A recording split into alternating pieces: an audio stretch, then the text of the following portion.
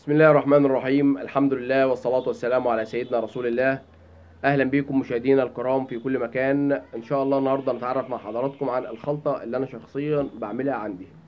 في حد طلب مني قال لي الخلطة اللي أنت شغال بيها قول لنا عليها اللي هي بتدي أعلى معدل تحويل. موضوع التغذية زي ما في مثل بيقول كل شيء له طريقة. في برضه كل مربي بيمشي بنظام لكن في الآخر الهدف واحد اللي هو زيادة معدل التحويل.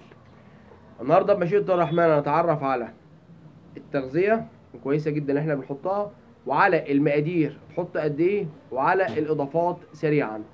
رقم واحد التركيبة اللي أنا ماشي بيها عندنا بتكلم عن نفسي. وبجيب إن شاء الحمد لله رب العالمين معدلات تحويل كويسة جدا.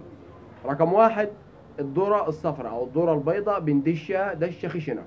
يبقى تشيش أصفر خشن أو أبيض. بنحط 60% من التركيبة. رقم اتنين النخالة. في ناس بتسميها الردة اللي هي النخالة الخشنة. بنحط منها 20% من التركيبة. رقم تلاتة الفول الصويا. ونلاحظ حاجة مهمة جدا في الفول الصويا. في حد قبل كده قال أنا عايز تركيبة؟ قلت له هات كذا كذا كذا. من ضمنهم الفول الصويا. قال لي الفول الصويا قلت لحد عليه قال لي ده وحش على الحيوانات. وبيجيب لهم فيه مادة سامة. يا جماعة الفول الصويا اللي إحنا بنتكلم عنه الفول الصويا ده بيكون مجروش كده جرشه وسط. ده بيكون معامل معاملة حرارية وداخل أفران درجة حرارتها عالية. علشان في نسبة سموم مع ارتفاع درجة الحرارة السموم دي بتروح خالص من الفول الصويا. أعلى حاجة فيها نسبة بروتين الفول الصويا وده مهم جدا في التسمين. يبقى إحنا الفول اللي إحنا نقصده مش الحب الصغير اللي هو عامل زي البسلة لا الفول الصويا المجروش سعر الكيلو بيتراوح من 9 ل 10 جنيه حسب الكمية اللي بتشتريها وحسب المكان اللي انت بتشتري منه. يبقى عندنا الذرة الصفراء الخشنة عندنا النخالة 20% و60% ذرة عندنا الفول الصويا 20% يبقى إحنا كده معانا التركيبة كاملة. عاوز تعمل 100 كيلو عشان نبسط الأمور 60 ذرة دشيش و20 نخالة و20 فول صويا.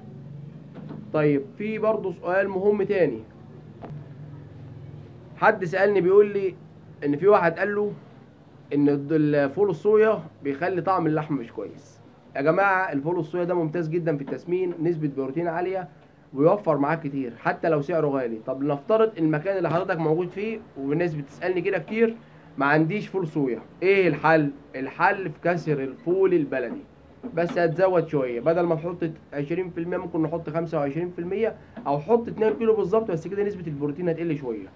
دي التركيبة اللي أنا شغال بيها والحمد لله رب العالمين بتدي معدلات تحويل ممتازة. مع التبن التبن أساسي أساسي أساسي. الكمية بقى نحط قد إيه؟ إحنا لو عملنا تركيبة مظبوطة واستخدمنا كمية كبيرة الحيوان هيتأثر وهيتعب. استخدمنا كمية أقل من احتياجه برضه مش هيديك التحويل المطلوب. قاعدة ثابتة بنحط من 2 ل 3% علف. العلف اللي إحنا قلنا عليه. لو عندك مثلا حاجة 100 كيلو بنحط 2 كيلو أو 3 كيلو في اليوم. عندك جدي وزنه 50 كيلو بتحط له كيلو ونص في اليوم. في اليوم يعني لل 24 ساعة. يعني بتقسم ال 3% اللي هو كيلو ونص لو حاجة 50 كيلو على وجبتين. وجبة الصبح ووجبة بالليل. اللي هي كيلو إلا ربع الصبح يبقى كيلو إلا ربع بالليل. ووسط اليوم تبن التبن قد إيه؟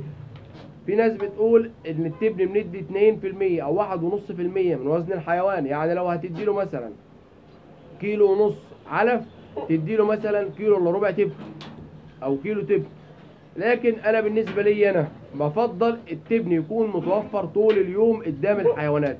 تدي علف الصبح وعلف بالليل والتبن يكون مفتوح قدام الماعز والأغنام طول النهار وتشيله الصبح وتشيله بالليل. في ناس عندها برسيم. لو عندك برسيم وعايز تقلل التكلفة أو عندك جروة بتحط البرسيم وتحط التبن الصبح لحد آخر النهار.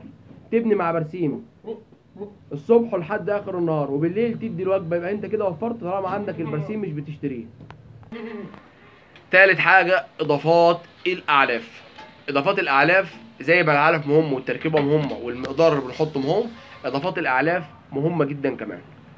إضافات الأعلاف في منها حاجات بتشغل كرش الحيوان عشان الهضم ويقدر يهضم الجرعة الكميه اللي أنت حاططها له. في حاجات بتمده بالأملاح والفيتامينات اللي هو محتاجها. زمان حد يقول لي ما كناش بنستخدم الحاجات دي نهائي. طب إيه السبب؟ زمان الحيوانات كانت بترعى وفي مراعي وكانت بتاكل خضار وبتاكل حشائش وبتاكل حاجات كان فيها الفيتامينات دي فهي ما كانش محتاجة. إنما دلوقتي أغلب التربية تربية مغلقة في المزارع أو في البيوت فأصبح في حاجة ملحة إن إحنا نستخدم أملاح وفيتامينات معدنية ونستخدم خميرة علشان الهضم. ونستخدم كالسيوم عشان يدي الكالسيوم اللي الحيوان محتاجه. ونستخدم معاها كمان ممكن نجيب القوالب الأملاح اللي هي فيها أملاح معدنية وفيتامينات.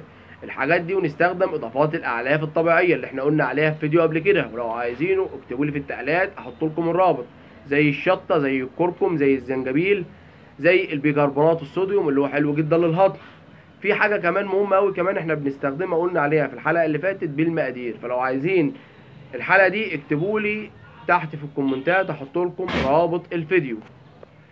ومقادير إضافات الأعلاف موجودة في الفيديو. إن شاء الله اللي قلت لحضراتكم عليه. يبقى إحنا كده عندنا ثلاث عناصر مهمين جدا عشان توصل بأعلى معدلات تحويل. خلطة تسمين كويسة. رقم اتنين المقادير اللي تستخدمها. رقم ثلاثة إضافات الأعلاف. وبكده أعزائي المشاهدين إن شاء الله نوصل لأعلى تحويل será Mônaco.